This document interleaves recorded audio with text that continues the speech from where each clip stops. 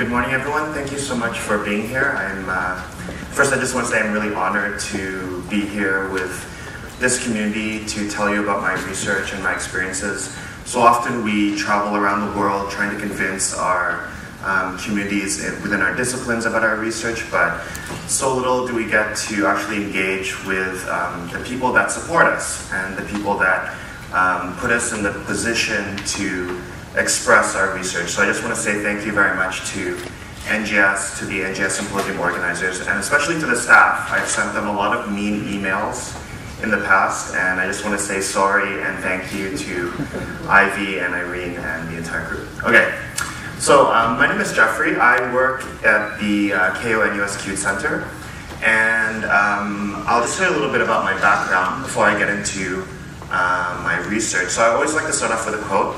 And the quote is this Communications technologies is concerned with the artificial texture that enables us to forget our solitude, and it is thus a humanity. So the reason why I wanted to point this out is because I look to this quote to remind myself all the time that even though um, I'm not necessarily uh, a perfect fit in terms of an NGS student, I still have purpose here, there's still a reason why I'm here, and I have a passion to do something. So, like I said, my name is Jeffrey. I'm primarily an experienced designer and a new media artist. That's my background. Um, I've worked on projects such as catwalks for Prada in Milan. Um, I've also worked on human programming for the CCTV building with the Office of Metropolitan Architecture, Rem Koolhaas. Um, recently, I exhibited in Singapore Design Festival as a media artist. I've also talked at some places, including TEDx in Zurich. And just recently, um, I'm ex- exhibiting at the Barbican in London, which is, I mean, if you're from the art world, it's more or less like a tier one forum. So I'm, you know, I'm very uh, proud of this. Uh, so I just want to share that.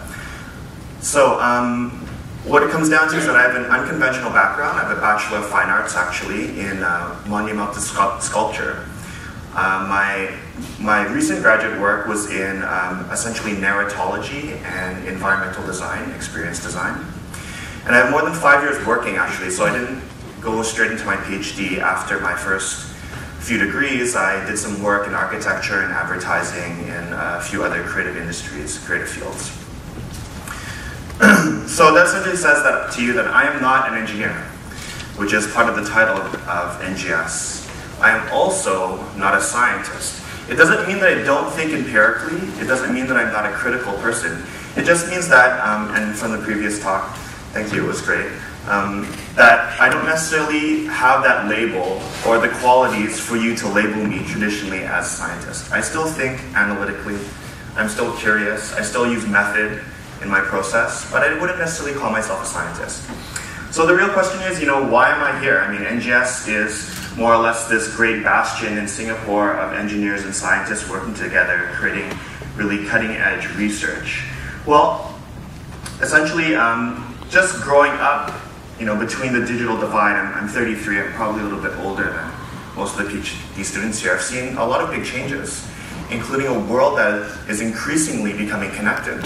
You know, when I first um, started playing with technology, I didn't have a computer, I had a Nintendo.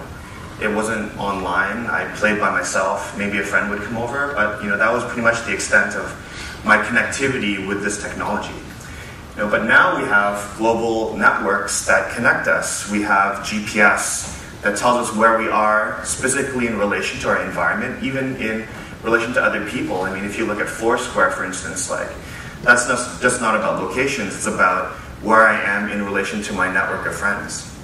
So that's actually very abstract if you think about it. It's it's a, it's a relationship uh, network, a neural network. And mobile communication technologies and the internet, you know, these things really allow us to transfer data at a dizzying rate. Um, we can download full papers, whole videos, stream movies. You know, we're transferring data very quickly these days. We have become masters of voice and video communication. Uh, you know, we can just easily turn on Skype on our phones now and talk to your mom, who is overseas possibly, and they can use Skype just as proficiently. So, you know, we've more or less reached a paradigm where we're able to use these technologies pretty seamlessly through, through our lifestyle. But what's really interesting is that we still don't have the technologies to express you know, deep human emotions. We don't have the technologies, or the technologies aren't necessarily good enough yet for us to communicate experiences. Um, so my research deals with looking at whole, like my overall research looks at how can we um, facilitate some of these relationships with technologies. If you look at the interactive and digital media field, you know we're currently seeing a paradigm shift. We're seeing uh, a way, a new future of technologies where you know logical and verbal communication and information sharing are not necessarily the main reason why we communicate anymore. If you look at things like uh, social networking, like Twitter, we're starting to see metrics about how we can measure feeling, how we can measure um, just general content of populations now, of, of communities. So we're, we're transforming from a nonverbal, um, a non, uh, we're transferring from an information sharing in a kind of verbal and literal communication ways and experiences into the sharing of feelings and experiences. So that, that's really interesting uh, way that we're moving towards. So now specifically at the Keio-NUS CUTE Center, we're looking at various ways that we can express and engage all our senses, not just sight and hearing, um, over the network. How can we transmit things like haptics? How can I hug someone over the internet? How can I teleport food? How can I communicate with taste? These are all questions that we ask at the laboratory. And of course, we use um, we're multidisciplinary, and of course, we use various types of methods in order to, scientific methods, in order to reach or conduct our research or to inspire us. But there are some other methods that um, we don't necessarily document, but we still employ in order to get inspired to do what we want to do. And what I like to describe this as is called blue sky thinking. And um, you know, this was a, an idea that I really didn't think would be accepted by any type of formal academic community, but you know, we, I still got to publish this in a, in a good conference, so at least someone out there is listening. And essentially what Blue Sky Thinking, I'll, I'll go through it, it's hard to explain, but I'll just go through it in terms of the thought process behind one of the projects that I worked on. So it goes a little something like this. We have projects that explore th living things as media. Other than purple cabbages, which we already use as a display embodiment in the Babbage Cabbage project, are there any other forms of organisms that possess color-changing properties, and can we use them as display devices? Um, so we started to think, you know, actually, you know, certain reptiles can change color, uh, so, so, so too can some aquatic animals such as octopuses. So from that point, we're thinking, okay, octopuses, thinking laterally, they live in the ocean. The ocean is liquid. And then, you know, in our research group, one of us, and this is us talking essentially over three months of trying to figure out how can we use biological um, systems as interactive systems. You know, so we started thinking, you know, actually, um, instead of looking at animals, you know, where these animals live, they live in the water. That's aquatic. Aquatic means liquid. Liquid moves fluidly. Know, so we started thinking on a lateral plane, you know, and then we started to think, hey, have you seen these? And this is essentially my contribution coming from an art background is, you know, did you see these ferrofluid sculptures by Sachiko Kodama? And they're really beautiful um, ferrofluid sculptures that align to electro electromagnetic fields and produce these beautiful kinetic sculptures simply by modulating the voltage and the currency. Um, so, you know, we figured out that, you know, she uses uh, magnetism to form these. And you know, while they are you know quite um, stimulating to look at and quite inspiring, you know, from our perspective, you can't necessarily interact with the material. You can't um, use it as a display device, and you can't necessarily use it as an input or an output. Um, so we started to think, you know, maybe we can use the controllability, the linear controllability of magnetic fields, which is essentially the technical innovation of that project, since magnetic fields are, are quite difficult to linearly control and then uh, you know use that, uh, try to shape the magnetic field dynamically so that we can shape, therefore shape the ferrofluid to whatever we want it to make. You know, much like Magneto does to, in the X-Men, you know, he kind of like bends magnetic fields and, and manipulates his metallic world. So together with Hall effect sensing, um, we can use the same magnetic field that agitates the fluid to also sense and actuate that fluid. So this will essentially enable us to make a shape-changing three-dimensional, you know, interface. And that's essentially you know, how we got to the idea of pouring some liquid onto an acrylic sheet, throwing some electromagnets underneath it, and seeing what we could do with Hall sensors. So you know, to get to a point where this um, is actually usable, we would definitely have to take um, engineering methods, we would have to conduct experiments, we'd have to measure spike height, the viscosity of the liquid, all of these things that you know you would do in a traditional experiment. But to get to that point to actually do that, we you know we, we pretty much had to sit around in a bar and you know get to that point of inspiration where we've exhausted all our ideas. So what I'm trying to say blue sky thinking is it's essentially this. It is a process in which we use to develop as imaginative concepts as possible without being constrained by technical feasibility, commercial marketability, or any other practical boundary. Now, everyone who has to get grants for their labs must look at this and think, you know, how could you possibly work in such a system? But, you know, from a thought process point of view, just as a point of inspiration, you know, I would argue that it is a viable process. And even though you could argue that, okay, some of the work that you do can be easily post-rationalized, I mean, I can't, I would say yes, you can't ignore history. So even if you don't realize it at the time of you doing it, but when you realize it afterwards, it still could be just as important and just as powerful. So in the end, blue sky thinking is essentially imagination in motion, just letting your mind fly and doing whatever um, interests you. And there's no other place in the world that I've encountered barring, say, a media arts lab or another artistic pursued lab um, where you can do this. Uh, I've never seen anywhere else except for the NUS, the, the Keio-NUS Center, where you can do this as an academic uh. So back to the Liquid Interface project. Now, with the Liquid Interface project, it's essentially a component in my PhD. Um, it's published uh, in various venues. But before I talk about that project, I would like to first talk about um, the motivation and our inspiration. So when we were thinking of this project, I also looked to, you know, how did essentially did we uh, did the button evolve? You know, the, the button is such a ubiquitous piece of technology. We use it in everything, but you know, what, where did it come from and where is it going? So in order to do that, we have to kind of look at the history of the way we interacted with machines. And one of these histories includes um, something called the lever. Now, up until the 1900s, we used the lever um, as the main way to interact with you know, our mechanical constructions.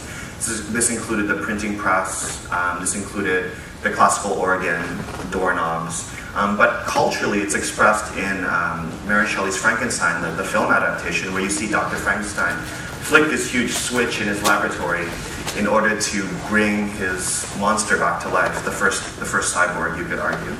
You know, so, so the lever culturally is quite significant to us, as well as, well as um, technologically. You know, later on we were able to miniaturize this button. We were able to make it very, very small.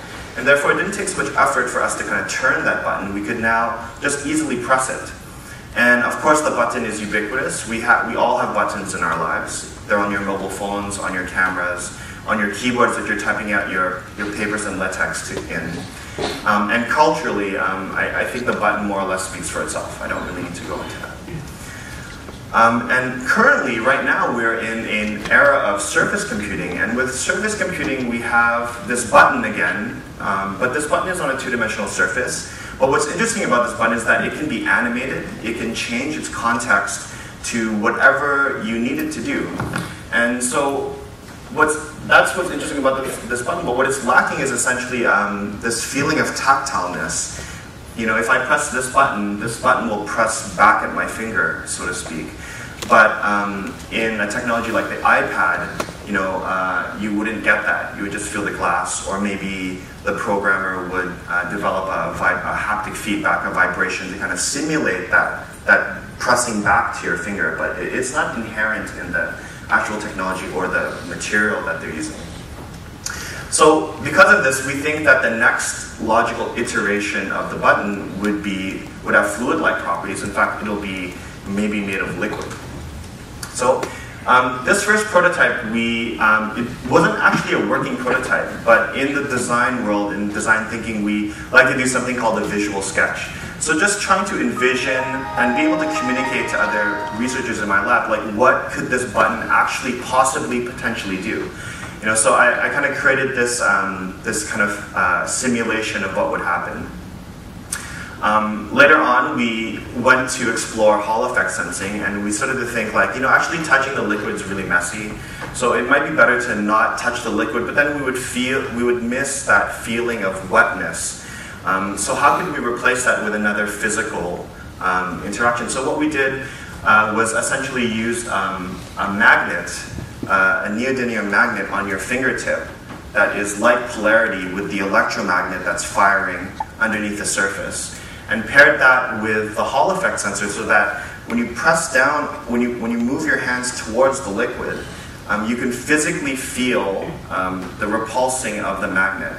And then the Hall effect sensor will actuate the liquid so you of manipulate the surface this way. So going down to the liquid, pulling up shapes, for instance, and being able to press those shapes in order to interact with the machine. And you know, our first application, of course, really rudimentary. Um, was the xylophone. Um, so you could feel the physical response on the, uh, the paddle, um, but you would also get a visual audio feedback just to show that, you know, what, what if we use different modalities for this. Now, um, this was shown at a, at a demo in a conference and, and we got a lot of good feedback.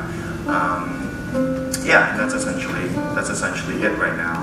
Um, so with this project, I mean, I like to think very, very far ahead, and of course, we're not even there. We're not there yet at all. I mean, we're looking at possibly how can we make liquid core magnets in order to to modulate the shape of the magnetic field better. But you know, a lot of my inspiration comes from scenes like this, where you know you have the Terminator who who changes shape.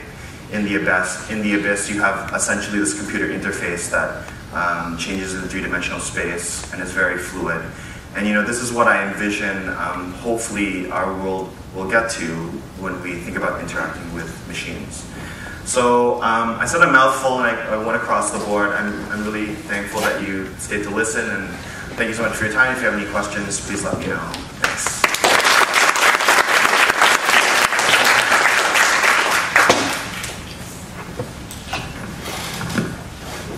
Do you envision this perhaps, or you envision becoming such a state where we have uh, liquid liquid interfaces for like pilots, maybe perhaps? Well, you see that it's it's hard to say because when you're a pilot, I, I would guess that you would need very analytical information in order to perform your job properly. So maybe mm, I don't know if this if a system like that, if, if it could respond fast enough and give you the right plane information, then possibly yes. I see it more as a creative tool. So, I mean, imagine if you're an architect and you wanted to rapidly simulate what a building would look, look like. Now we use a, um, a rapid uh, prototyper, uh, 3D printing machine, which will print out maybe a building in a few hours. But I can imagine, you know, using a system like that where you'd essentially just turn it on and out of liquid it would just be formed. Yeah, Yeah, for instance, yeah, that yeah, that would that, that's a nice uh, ima- uh, imagination of it, definitely. Yeah. Please. So, I mean, it's, it's kind of interesting. When, when I think of the trackpad, mm. You know, I can't use a mouse, it's kind of interesting. I, don't, I can't use a mouse, but, uh, and it's actually very tactile because you, you know, you're stroking something which has, you know, I'm sure after we talk about the texture of the trackpad in my head. But to go to your last bit, you have a a return to the feeling. Mm. Uh, to look further forward, at what John just said, if that plugs into your own um, nervous system, then you actually become you become quite seamless with the machine. Mm. And then yeah. it becomes yeah, the little fact fiction. You go, you go into the spaceship, you put your hand down, and you're connected to the, the, the onboard computer, and that's it. So I mean, there are quite a lot of people who are working on that sort of aspect of man-machine interface. So what are your thoughts about that? Well, I think we're, I mean, if if you've been reading the blogs about, like, uh, there's a consumer electronics show, which just happened a few days ago, actually.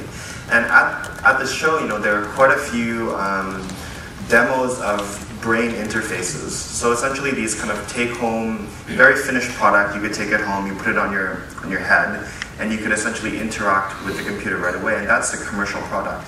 So I think, um, I think not just in the research field, but I think also within the commercial field is, you know, uh, beginning to have a lot of interest about how can we interact with these machines in different ways. I mean, if you look at the Nintendo Wii versus the Xbox and the PlayStation 3. So let me just take this as an example. You know, um, there was a lot of user study and a lot of survey um, that asked the next, that the, the, gaming industry, uh, the gaming community, what is the next generation of computers? What do you want? And most people said, like, we want better virtuality, better graphics, better sound, bigger, bigger and better explosions. You know, but Nintendo didn't have the capability to do that. So what they did is that they decided, you know what, we're going to introduce a new way of interaction. We'll use the same old hardware, but we're going to give you a remote and we're going to put an accelerometer in that and give you a new way to interact. And that opened up a whole new world of gaming. And now you have the Xbox, for instance, you have casual games. People who never played games now play games on their iPhones. Maybe attributed to only because they can touch and interact with the machine in a different way than using a controller. You know, so I, I find that to be very exciting, and I think um, we're definitely, you know, already in that ebb of where, where we're interacting with machines in a totally different way. And that's very exciting to me.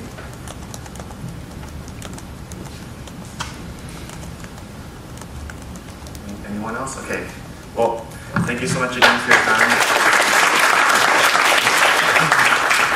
Thanks, Jeffrey, for that highly interesting talk. Hopefully I'm done with my research work before you your Terminator T1000 units take over the world. Thank you, Jeffrey. Up next, I'd ask to invite Okay, no problem.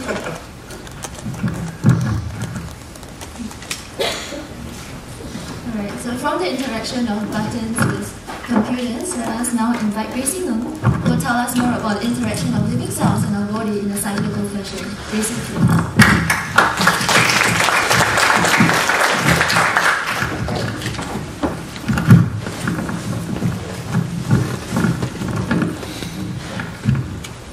Ready.